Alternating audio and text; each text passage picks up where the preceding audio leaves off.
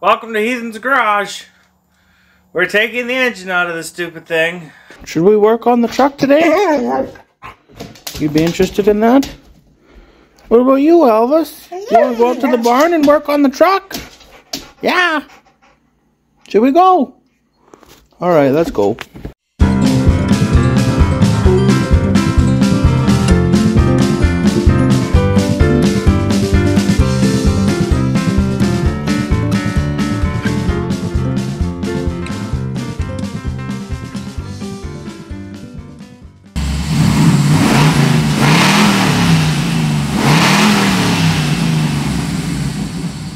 You've seen part one and part two of this here debacle, you'll know that this thing has no oil pressure.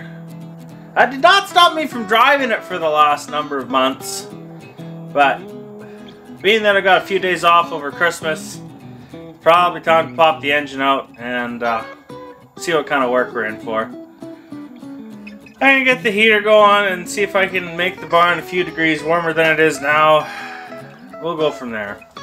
So step number one here, that's already fairly controversial because why not start there? We're going to dump a couple liters of diesel in this. Maybe we'll get it warm first. Either way, we're going to have a couple liters of diesel in the crankcase. And we're just going to run it. And hopefully that'll make some of the like crunchy, dirty, gross, slobbery bits that I'm guessing are in this engine go to the bottom. And it'll just make our end cleanup a little bit better. And since we're not, hopefully, gonna send it to a machine shop, then we don't have to worry as much about like oil passages being dirty because hopefully they're already clean. At least that's the theory. I don't recommend the idea, it's just a thing that I'm gonna do. Just a couple liters so it's way over full. Then we'll just run it for a while. If we hear the valve train start making noise, then that'll be a good time to shut it off.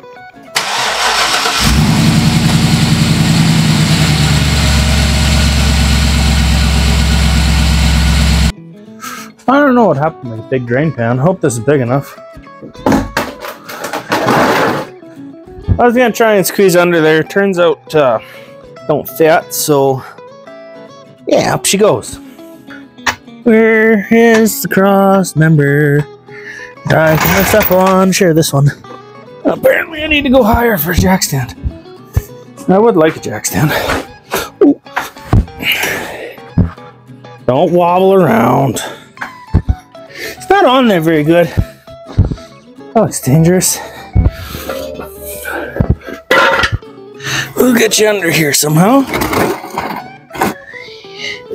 Get me under here somehow. On this wrench. Now I predict this is gonna come out in a hurry because it is both hot and now quite thin. So I'm a little. I'm not gonna try and catch the plug. Let's put it that way. Well, maybe I will. That's not so bad. Oh, there's a fair bit of metal on this drain plug. Oh no! Don't do that. I think we're gonna let that drain while we go have lunch. That seems like a good idea. So since we've got this thing up in the air now anyways, I suppose it makes sense to undo everything. Like the exhaust, and the transmission bolts, and whatever wiring's down here. Dump the radiator out. All little things I don't really feel like doing, but I guess they need done, so just gonna do those. We had to put another coat on. It's really cold. Here we go. Mm, That didn't work.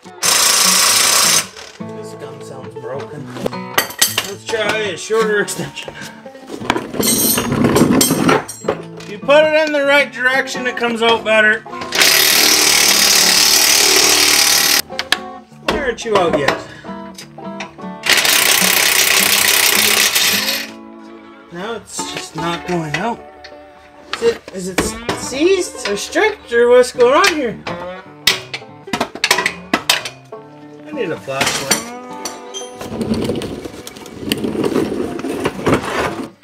It appears though it is threaded loose, but it is not loose. And I just need to hit it with a hammer. Let's try a different one for now, so we're less sad. Hey, we got one. Hey, that's two. Well, two and a half. Okay, we got the three bolts undone, and we got the clampadoodle back there undone. We got the hanger undone, we got the O2 sensors undone, so theoretically, one side at least, should just come right out. This, this side, obviously, not, not the other side yet. It's not, I haven't undone it. Come on out. Come on. There. Get over there. Oh yeah, that's ooh. Hey. Careful there, buddy. Yeah, that's better. Less damaging. Come on out. Are we moving at least? Oh yeah, it's moving.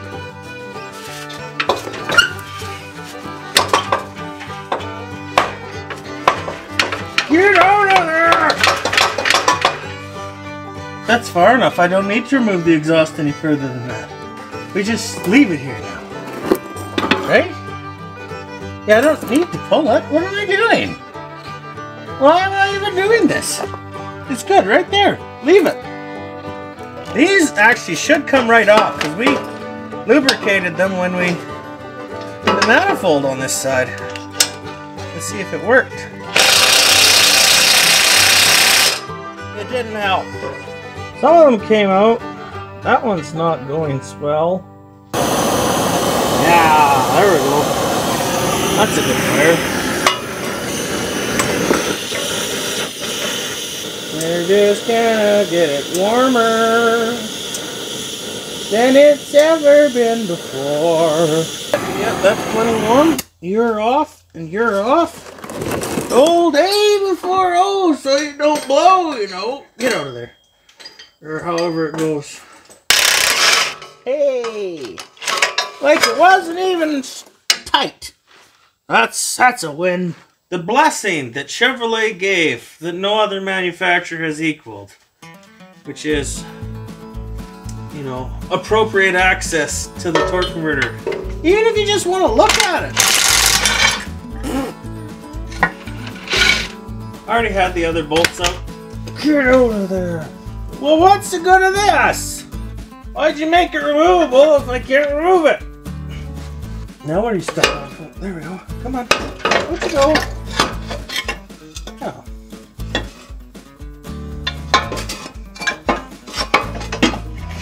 Good thing I made that exhaust so loose. I guess it's a good time as any to uh, get the starter out, hey? I need to take? Oh yeah, that figures. This is another good idea on Chevrolet. Two bolts going upwards. Now, our next thing we need to get accomplished is we need to pull at least one bell housing bolt so we can go fetch some new ones that are nice and long to fit in the stand. For I don't have any metric here. And everything is closed tomorrow and the next day and the next day after that. So we're probably going to run into town after pulling one bolt and come back to this either this evening or tomorrow. Well, probably not tomorrow because that's like Christmas Eve. But, you know, sometime. It's like three days later. Kind of Christmas happened, and you know we didn't do stuff, so we're back. We're gonna carry on. I'm probably just gonna finish the stuff underneath and then bring you up top when the time comes, because the stuff underneath just it's hard to see and like it's you take the bolts out. That's that's what you do. Just take them out. You'll figure it out. Then we just stick a wrench up on here and we put the bar against something or hold it or whatever and just turn them right out. I think this is the last one, so that's progress. Got a few bolts left to do on the bell housing, and after that, we're gonna drop the truck back down and move to the up top world for a while and see how that goes for us. Are you leaving? Oh, hi. What a nice little dog. Oh, next practice. All the bell housing bolts out. Access to the motor mount bolts, I think, from when we're on the ground. And theoretically, everything that is underneath unhooked and ready to, you know, be removed. So now we're doing stop, stop, I guess. Down she goes. I don't know what to narrate all the way through it. I'm taking things off so that it can come out. That's, that's all there is to that. Get over there. This is the easy part.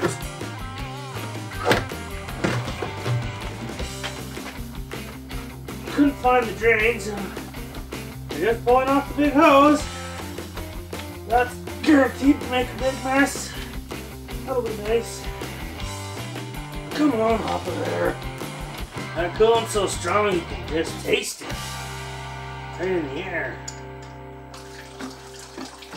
Hopefully some of that's going in the pan.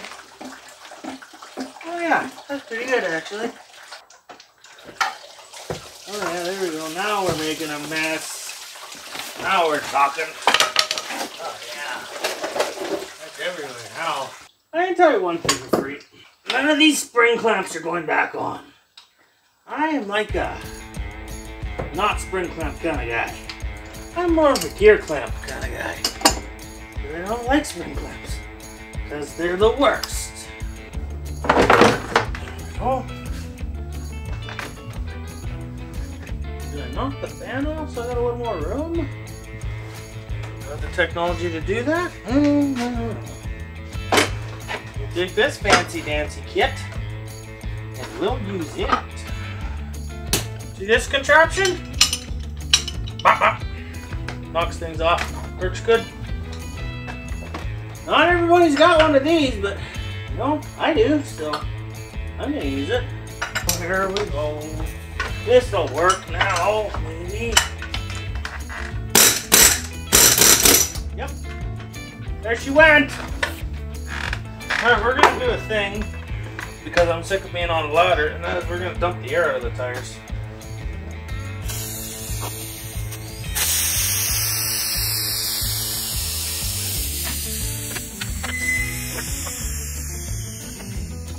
I guess that makes it wiring harness time now, doesn't it?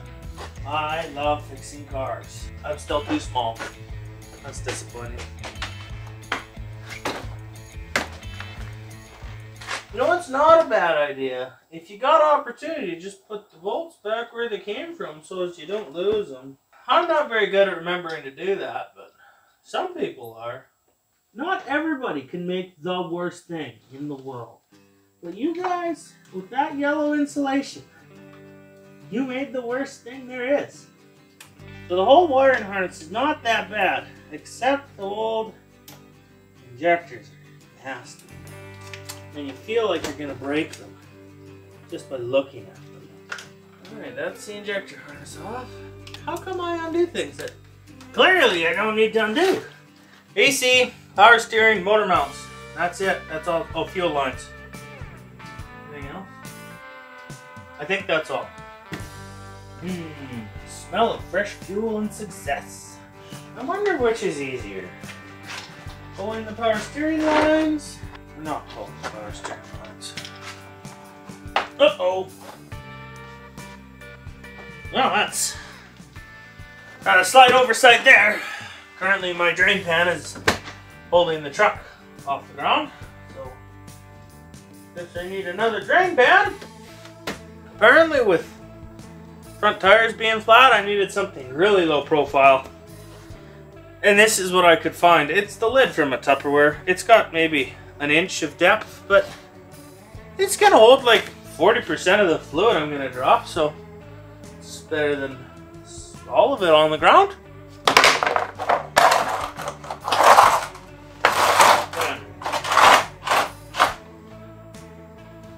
The next part is the AC, and uh, yeah, we don't run the camera for the next part. It's just, yeah, that's we don't. Every time I think I'm almost done, I realize there's like six more things to do. Forgot I gotta pull the intake off, to get the knock sensors, so I Guess we'll do that first. That sure would have made undoing that top bell housing bolt easier. Next time I'll do that to begin with. Where does it go? How does this operate? Get over there. Ooh, gross. That's disgusting in there. Look at how gross it is in there. We've got dirt. Dirt like crazy. We're gonna have to vacuum this out. Right where it sits. I, I did not have to remove that intake manifold. Because this knock sensor that I was worried about, they just go to there. I definitely could have just undone those two sensors back there and it would have been fine. So that was kind of a waste, but oh well. Here comes the noise. Na, na, na. As foreman of this here operation, I've made an executive decision, and that is that it is cutting time.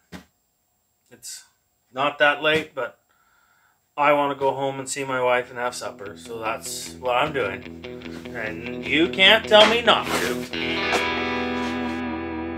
Good morning. We have already started on this project here. My wife came out this morning and she was kind enough to give me a hand pulling the hood off. So that was pretty great. Um, motor mounts are theoretically undone. And basically we got to pop that motor plate down and we're going to throw the uh, throw the hoist on it and see what happens. Now I'll find four bolts like this, a quarter inch longer. So there's lots of thread engagement. Two, three, four. Now this is pretty theoretical that this is going to fit, but it, that should promise. Okay, so we're going to have to modify our, uh, our lifting plate a little bit. It does not fit an LS.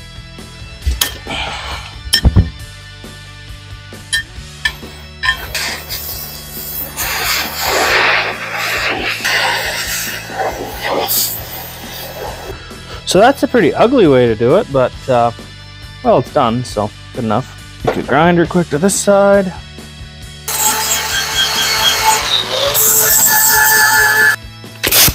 All right, just clean those up quick.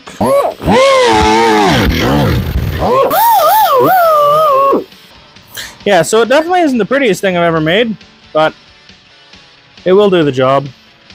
Make sure we don't round them down too hard in case they're too long. They're too long. So it took us less than six minutes to modify our engine plate to fit. Which to me seemed worthwhile, especially given the fact that five of those minutes was me wandering around looking for my die grinder, which I forgot that I'd put away.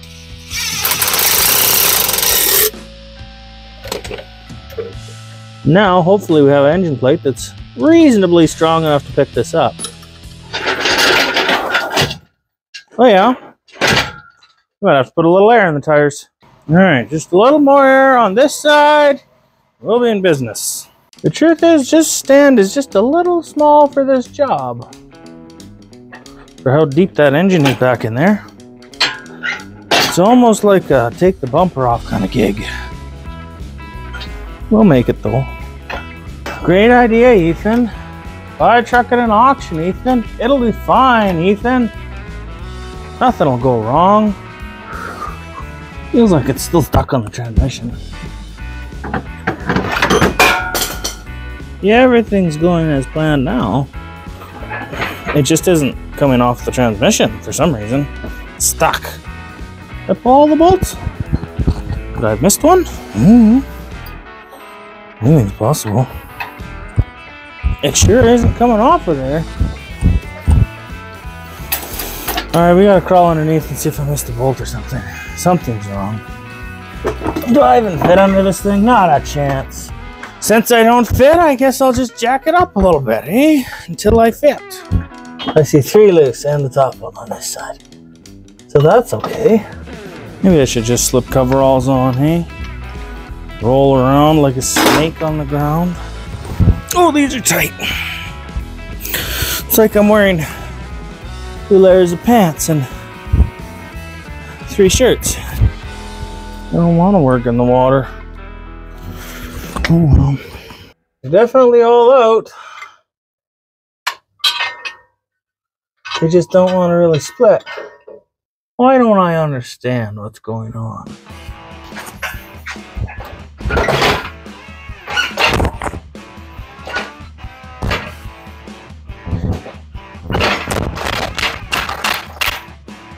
Why aren't you coming out?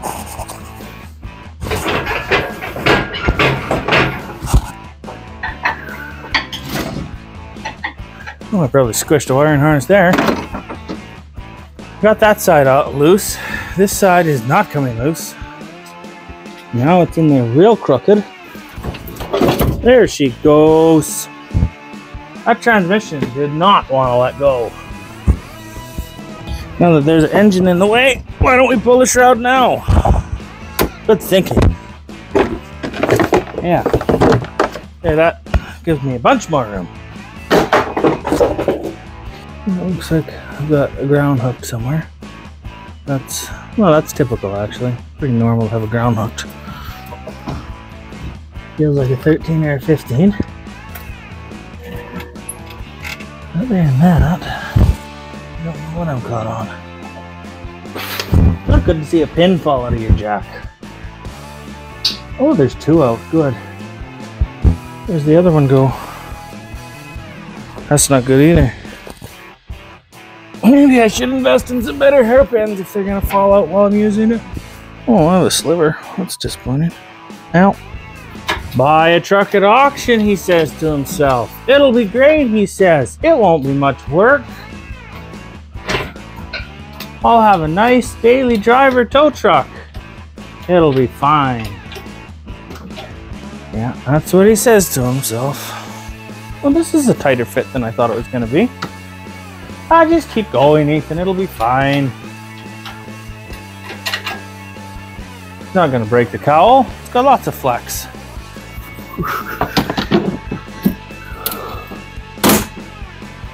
Whoops. That was fine. Not that big of a deal. We can always ignore that, what I just did. This isn't like an easy squeeze out of here. I thought I had tons of room. Let's see if we can just pull that thing off. That's ruining our day. Why do I do this to myself? Let that be a lesson, I guess. If it's in the way, just move it. It's not that hard. One lousy bolt. I think it's supposed to be two, but one of them broke, so one lousy bolt. I think pretty well, other than this air conditioning line. We're free, I think. Home stretch. I always wonder when things are this tight, did they plan to ever take this out this way? And they're just that good of engineers? Or is it just luck?